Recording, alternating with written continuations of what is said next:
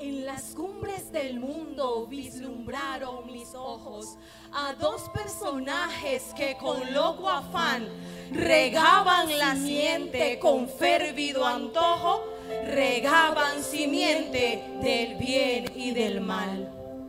Seguí contemplando la extraña tarea y vi con tristeza que el hombre del mal sembraba más fácil, cantaba, reía y el hombre del bien lloraba a raudal. Corrí presurosa, pues quise instigar la causa más cierta del llanto de aquel.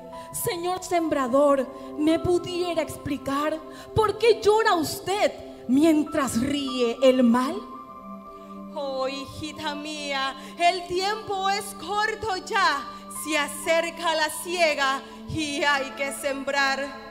Por cada semilla que siembro, este riega un ciento en mi campo. ¿Cómo no voy a llorar? Señor sembrador, pregunté al segundo, ¿pudiera explicarme su risa y su canto? ¿Por qué tanto afán por llenar este mundo de tanto dolor y tanto quebranto? El tiempo es breve, me dijo Sarcás. No importa que el mundo en sí cause daño, que el mundo se nuble es mi sueño. Ya rindo mi cuenta, cese mi empeño. Señor sembrador, le dije al primero, anhelo ayudarle, ¿me quiere aceptar? Tomé la simiente, regué los senderos y con el sembrador aprendí a llorar.